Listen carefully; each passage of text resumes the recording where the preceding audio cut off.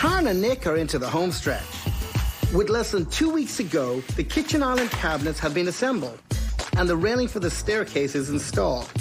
Outside, the porch is being finished in cedar, the concrete for the driveway and front walk is poured and finished, while landscaping in the backyard is